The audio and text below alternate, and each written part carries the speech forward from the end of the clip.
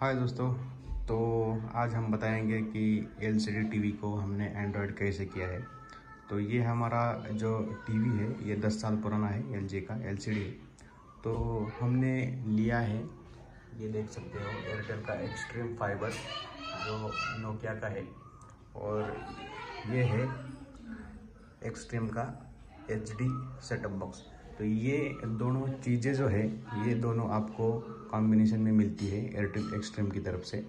तो इसकी वजह से आपका जो टीवी है, वो एलसीडी हो एलईडी हो, वो एंड्रॉयड में बदल जाता है। तो अब हम आपको ये ऑन करके दिखाएँगे टीवी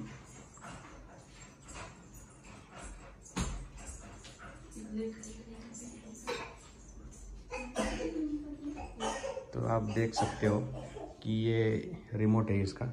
तो रिमोट पे ये होम बटन दबाते ही ये स्क्रीन ओपन होगी। तो ये होम में आप देख सकते हो नेटफ्लिक्स है एयरटेल एक्सट्रीम है जियो सिनेमा डिज्नी हॉटस्टार का आपको सब्सक्रिप्शन एक साल का आपको फ्री में मिलता है। और यहाँ पे नीचे मूवीज़ है, बाद में शोज़ है, सब आपको यहाँ पे देखने को मिलेगा। और इस पर एक यूट्यूब का बटन है तो यूट्यूब आप दबाओगे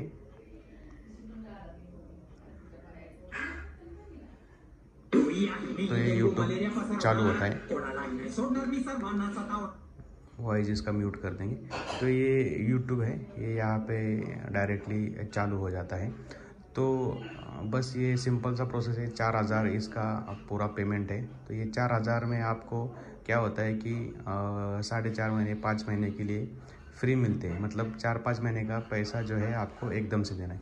तो पर मंथ इसका जो कैलकुलेट किया है हमने तो ये वाईफाई और ये टीवी सेटअप बॉक्स तो ये दोनों का चार्जेस है, वो आठ सौ रुपये पर मंथ हमें आता है। तो आपको दिखाएँगे टीवी भी।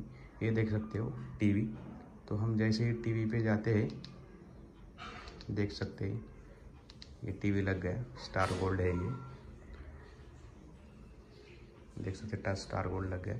तो हमें टीवी भी मिलता है यूट्यूब मिलता है, जो मूवीज़ है, जो शोज़ है, वो भी हमें देखने को मिलते हैं। और जो ये वाईफाई है एयरटेल एक्सट्रीम फाइबर का, वो भी हमें फ्री में अनलिमिटेड मिलता है। तो वो मोबाइल को भी यूज़ कर सकते हैं और टीवी को तो यूज़ होता ही।